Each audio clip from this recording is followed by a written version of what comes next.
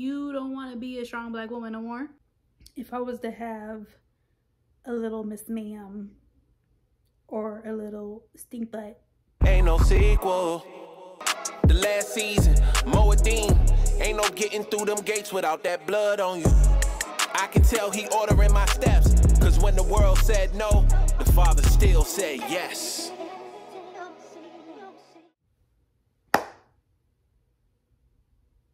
Just need to, I need to say something. I need to talk something, okay? Because I am currently, I'm feeling very hormonal. I'm feeling very nurturing, maternal, whatever the case may have you. And when I tell you the flesh and the spirit is knocking, like, just they going at it, okay?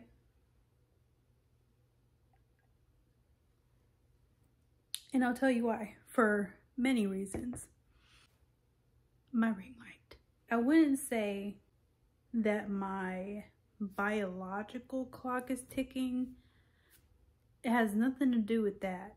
Um, because just with my concept, I know back in biblical times, you know, with the example of Sarah and so forth, you know, God willing, God can do anything when he wants to. It's his timing, right? However, my flesh for decades have been programmed from the actual upbringing of the propaganda that has perpetrated my generation.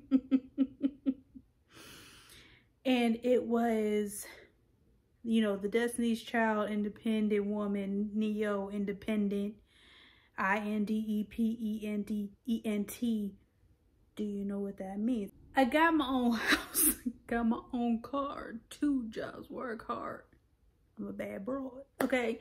That's what's been the whole stewing of the pot, especially with me growing up now as an adult, okay, having the urge to just, you know, I am thankful that I've had the opportunity to go to higher education, getting my degrees and so forth. Very, you know, thankful for that experience because I don't think if that piece was there, I wouldn't gain as much skills that I did outside of it. Um, so I'm not trying to say that going to college is a make or break it type of thing. You know, it, there's different things for everybody. But I'm saying because I went the route in which I thought was best for me at the time, and now my gears are shifting because it's like, girl, none of that even matters. You don't want to be a strong black woman no more. You don't want to be the rock no more. You want to be taken care of. You want to be fed, clothed, and sheltered. You know what I'm saying? And I'm working towards that. Okay, we are having a plan in place. Okay, we're gonna have to take them steps. I'm. I don't want to oh, that's such a, oh, that's, if, that's such an iffy word, but I'm gonna say it. I have been known to be aloof, right? But it's not in a non-constructive way. When I have my aloof moments, when I want my own space, it's just so I can process certain things when it comes to either my creativity, business-wise, um, personal development wise. That's why I need this space because I feel like I need to be more silent within myself to understand what I'm feeling and so forth. So it's not like people annoy me or they're bothering me. I just need the space so I can have mental clarity, right? so when I am in the process of in a way being a kept woman because you know that's like a modern term. But in biblical days that's what most women were experiencing. They had their basic needs met and they were holding down the household and so forth. So it's just like for me to be programmed for so many years to say hey you know you need to be an independent woman you don't need anybody. You are the person that X, Y, and Z. Now, mind you, generations before, you know, with the black buying the block and everything, right? You know, the grandma was the monarch of the whole situation and the families expanded from there. And you have 15, 1100 grandkids. Yes, you know, and the marriages withheld decades upon decades. Now, mind you, I understand that not all of them were perfect. They stayed because of the kids, some of them. Most of them were built on black love and so forth. I get all of that, right? I get the spectrum and I get the balance. For me, this is where the spirit and the flesh are just it they're not syncing. They're trying to, but they're not. So for me in the flesh, it's just like me being programmed to have such an idealistic, individualistic, solidarity, isolated, you know, mindset because, you know, growing up again, being told that you don't need anybody but yourself, you don't need to have somebody to support you and so forth but it's just like me growing up with my dad and my mom. They were married 24 years, like just short of 25 years before he passed away. And when I tell you, even after death, that man, my dad, set the family up. And I've mentioned this in other videos. He was just good at setting things up because he knew that he was sick and he knew, you know, the outcomes that could be and so forth. So he just took it upon himself as a man to be sure because he was always somebody that made sure his family was good while he was here but he knew he wanted them to be good after he passed. So he was a fantastic man. I've only known him nine years but you know just from the stories what people would tell me and so forth and continuing mm, you know especially my mom mentioning it too. So me knowing you know, growing up, that family dynamic, right? That could have been if he was still here. Being just ripped away from the societal views that I was subject to. And the friends that you're around when you're younger, like, I don't need no man, walk that wah woo doo woo, pow, pow, pow, pow, pow. You know what I'm saying? So I became pow, pow, pow, pow, pow, pow. And you can't tell me nothing and da, da, da, da, da firecracker, right? I'm a short woman. You know how people say short packages come in, you know, they fiery and they, I don't care. But still at the same time, it's true. I don't care if 6'2", 6'5", 200, 300 pounds. It is what it is. I don't know if that's the zeal uh, in me. I don't know. I, I don't know. Okay.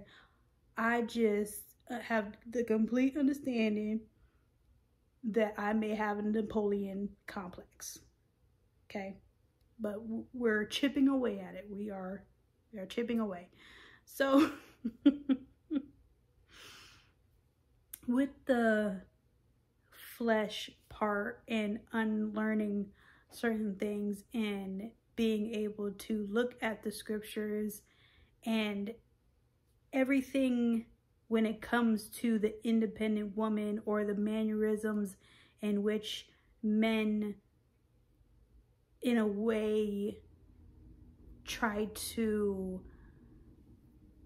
guide women to not be their greatest you know that's all in the bible. Like you know how people say you a f boy or whatever whatever? That's in the bible when it, hot girl summer, I don't know if people even say that anymore. I don't know. That's in the Bible. Okay? It's just so now that I'm breaking the mold and just unleashing just certain stuff that I have have known before it's just like none of that interests me anymore. None of it makes me feel any you know sense of anything. This whole month I have just been like I just want to be fully, you know, a person and a woman that they explain that who she needs to be and the guidelines are in the Bible. I want to be like that. I want to be able to hold a household down for a family. And that's exactly what I'm wrestling with. I don't know if people think about this, but literally I just had this conversation that a man has millions of sperm. Okay? Do you know how powerful that is? Yes, only one makes it to the egg. The sperm splits it to be able to have twins and triplets and all that. Like, what? because the man is carrying the seed, okay? Seeds a lot. Like and then the and then the woman, mind you, everybody has a vessel, but the spirit is in the body slash the vessel. And for a woman to have a vessel of her own and to have a spirit of her own and then she conceives, she also has another vessel and spirit within inside her. So she's carrying two bodies, two spirits. It's just like for me, being programmed, you don't need no child. You do you see how messed up this world is? But on the contrary, this world has been messed up since the beginning of time. God said, I'm to flood this place. And I messed up for even making humans. Okay? So if you think he, he can restart the planet by a flood, he gonna restart it another way that no man has seen. But we ain't gonna go into that right now. But all I'm saying is having the notion of no, you don't need kids and they're so stressing. Now, mind you, growing up, seeing the examples that I have seen with people that I've known to have children and how stressed out they are.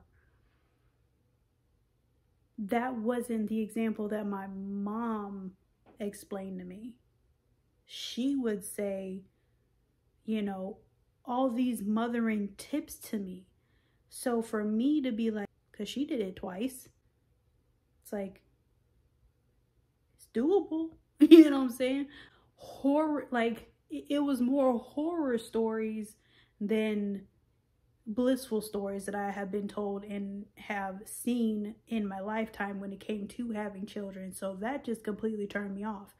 And plus the everlasting examples of how marriages just don't work anymore nowadays. So it's just like, it just turned me off completely to having kids. But now, reading certain things and understanding the spirit and understanding, cultivating the love and having a lineage through your husband's seed, it's just like, because you can even gain salvation through childbearing. And that's a powerful thing. And, you know, if some women, I mean, they, they reprobate. I'm just saying, just is what it is. But for me, something in me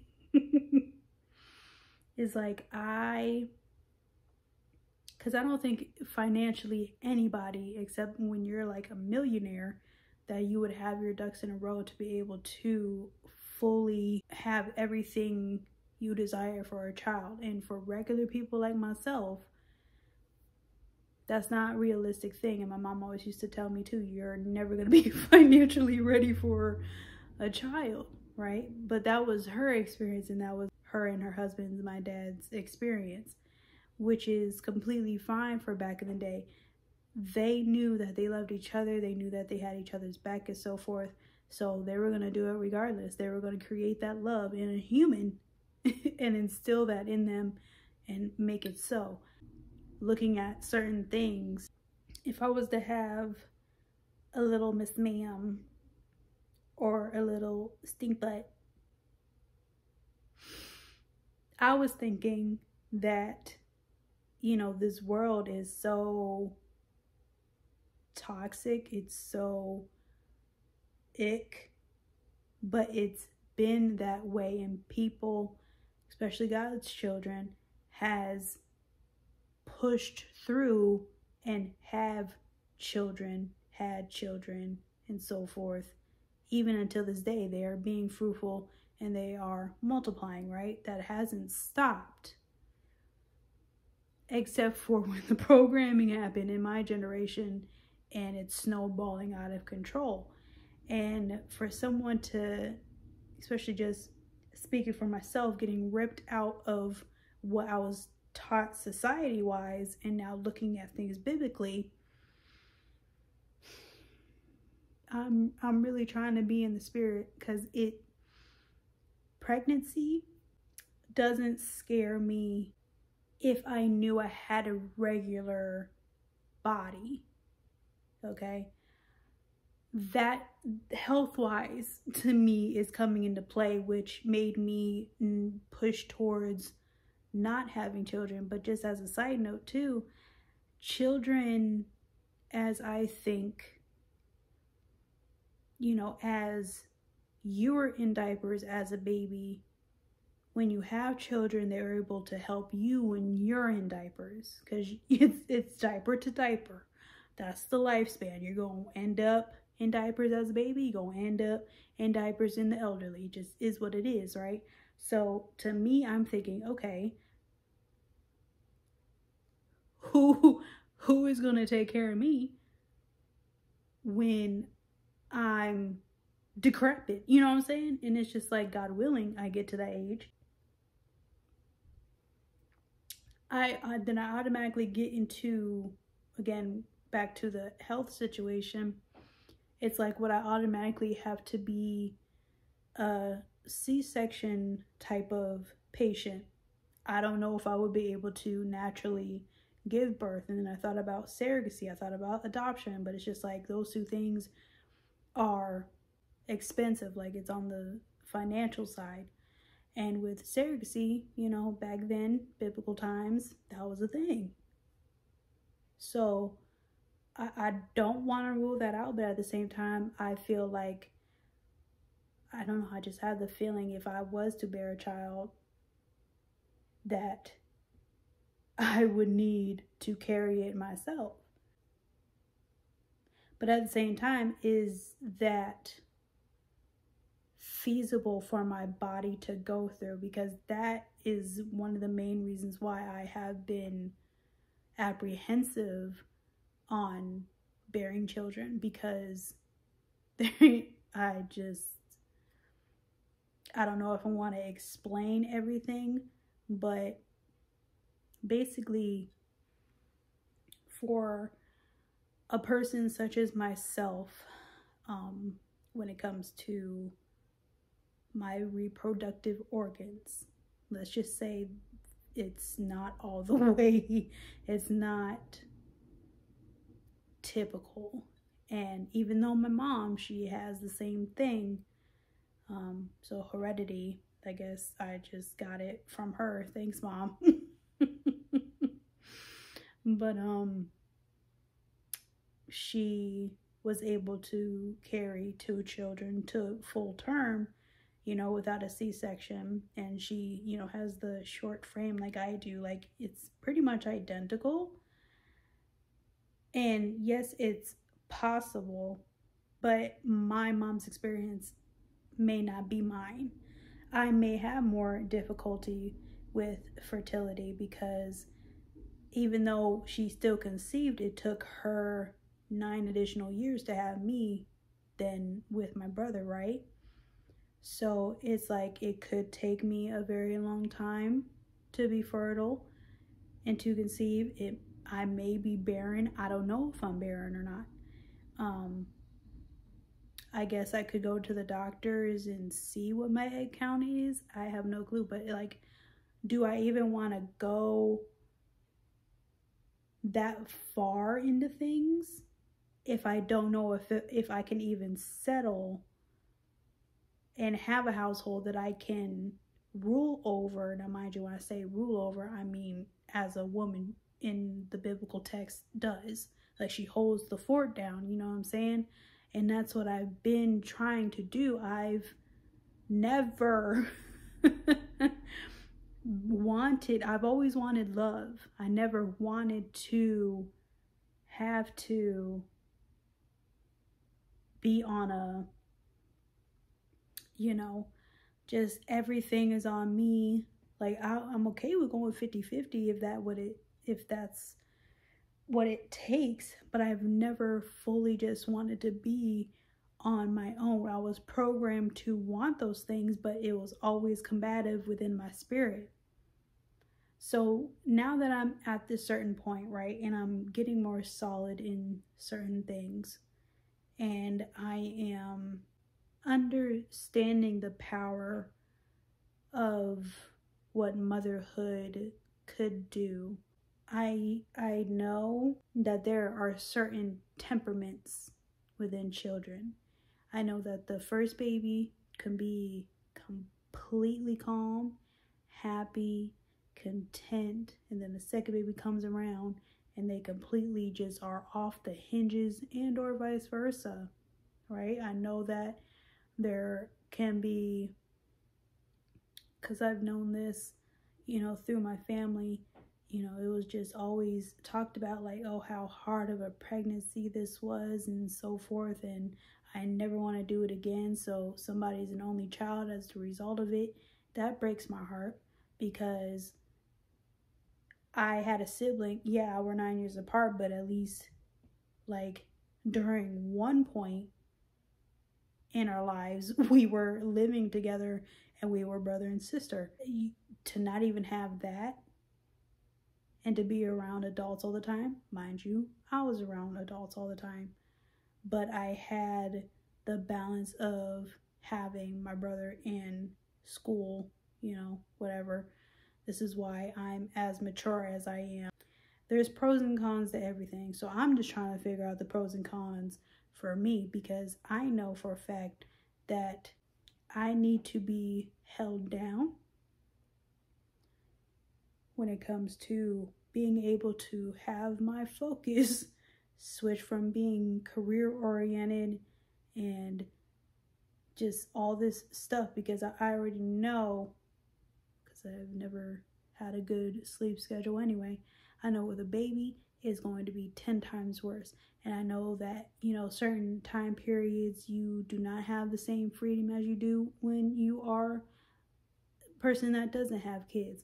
However, the biblical situation calls for none of that. It doesn't call for you having fun times when you're having children or even when you're not having children. It doesn't call for that. It's a very structured type of thing. So I need to know that when I bore children or a child, that I am going to have the settled house, like a physical place where I feel comfortable, where I feel like I could strive in, where I feel like I could take care of it every day and so forth and be able to raise a son or daughter with a man in the household. That's a lot of things that people are missing nowadays. When a man is there, I'm not, I refuse, okay? I will not, not have a man in that household, okay?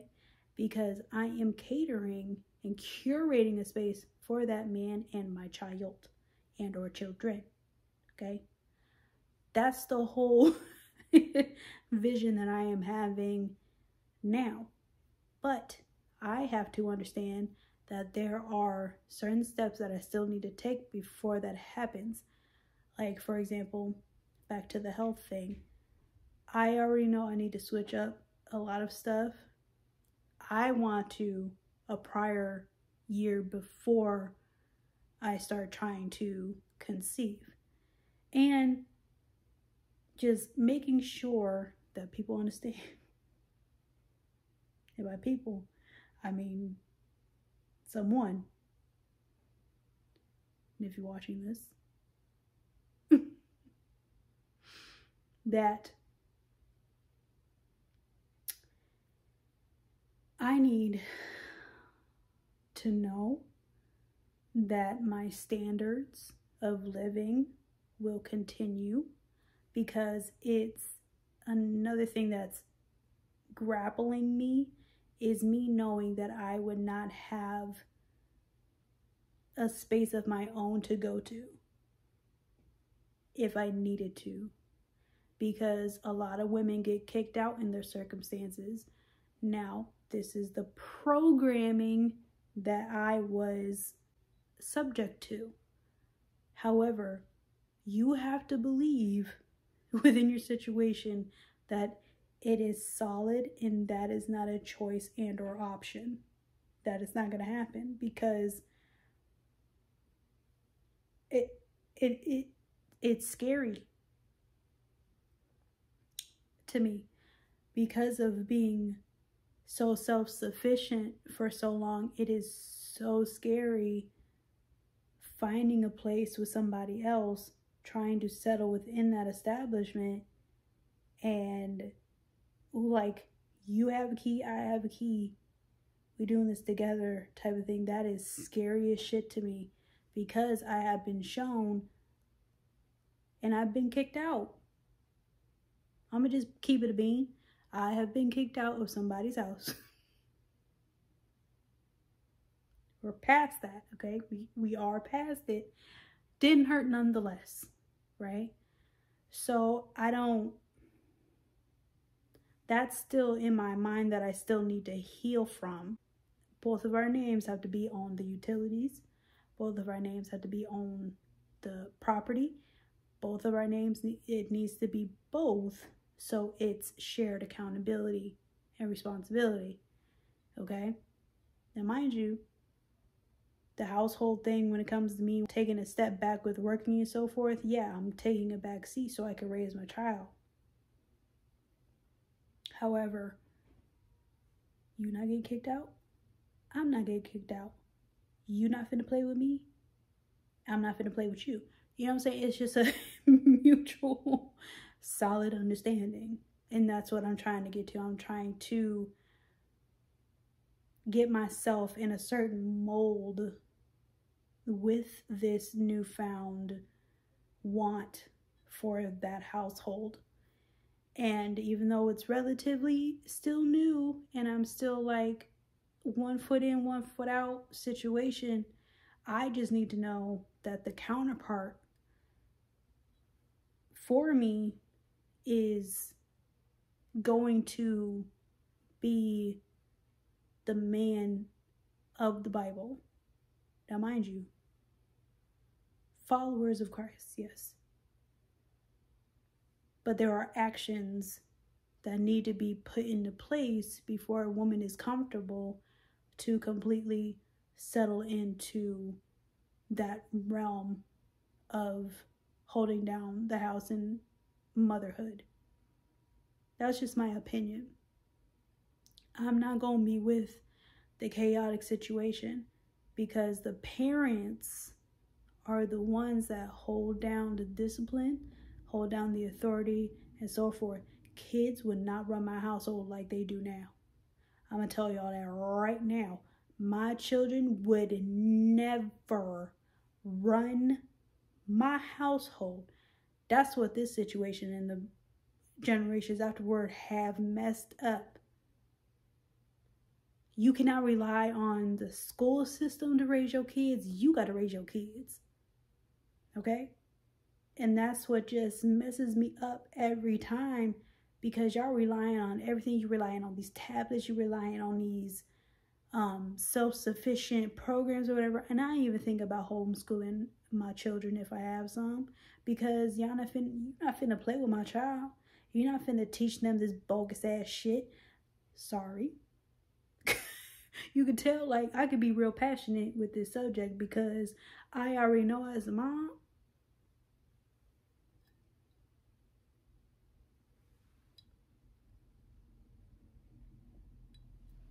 You tell my child what? Get get the whole out of here. You know what I'm saying? No. So that's another thing. It's a preventative thing too. It's just like I know I gotta send them through a school system. Is it public? Is it private? Is it homeschool? Like what options do I have? And how can I prevent them from being soiled from this earth? How can I make sure that they are close to God in Christ? How can I make sure that they are learning the fundamental things that are in the Bible? How can I do that? It's just, it's a balanced thing. It's a thing that it's so irritating and frightening. I know I can't prevent everything. I think I have the ability to actually teach things that make it relatable and things that are able to just be easygoing, I guess.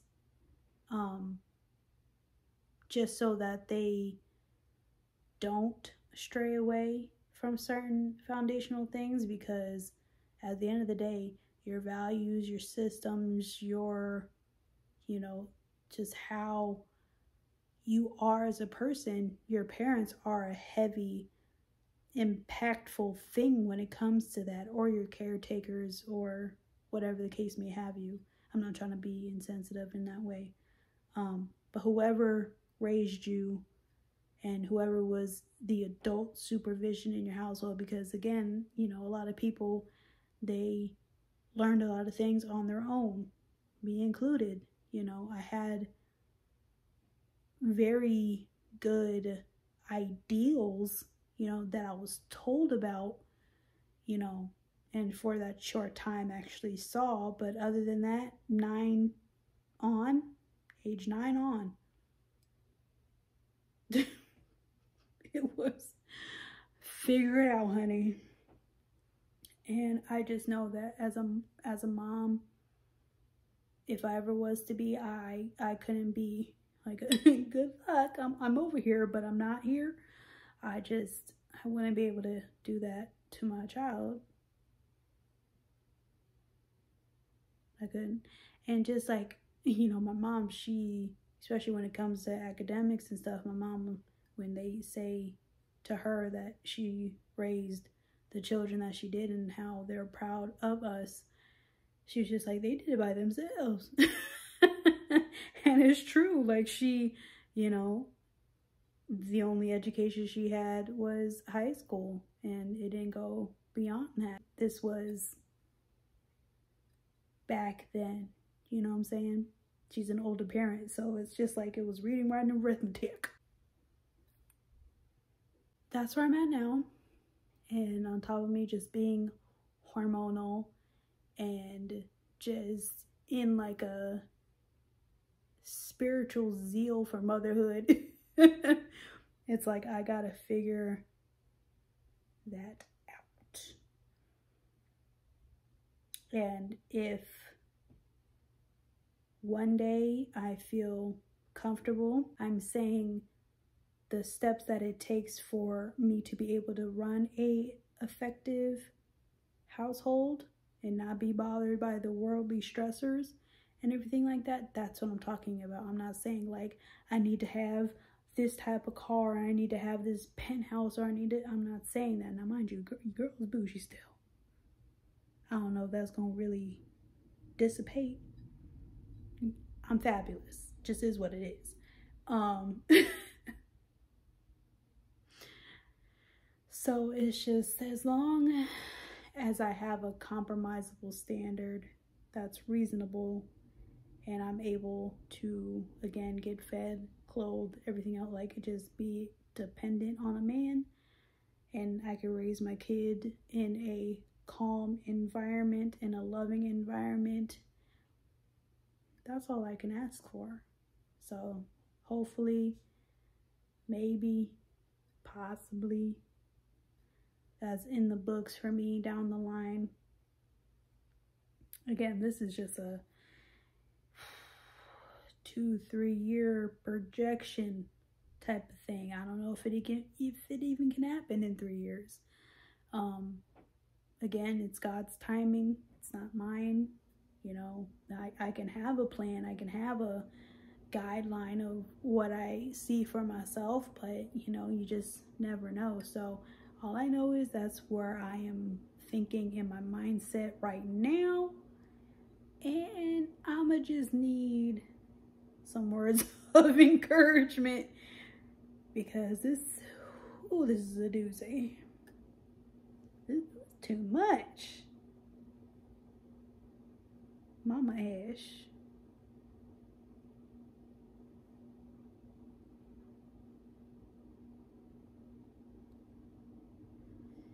Mom Dukes, like, eh. don't want to be Mom Dukes. But at the same time, I feel like I gotta be Mom Dukes. Cause the cause the personality and everything else just can't die when I do. You know what I mean? It's just like the the intellectual properties and the creativeness that I do, it just can't fold when I do.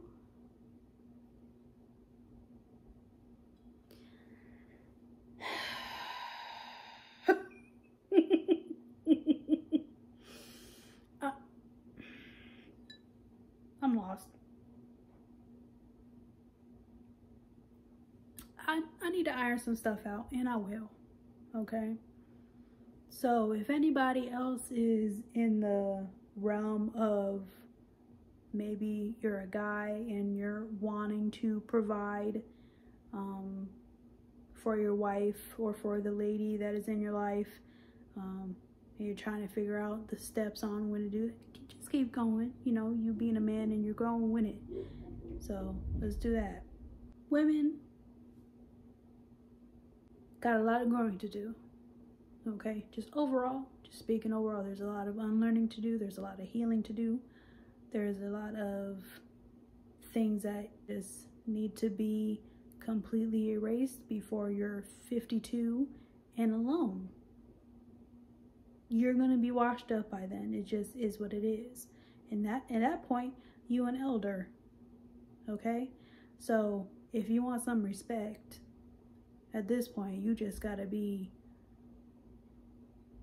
just have a certain decorum about yourself. That's all. The buck needs to stop at some point. The bullcrap with this toxicity as women need to stop. And it just is what it is. I hope you enjoyed another Vessel Talk with me. And until the next one, take care.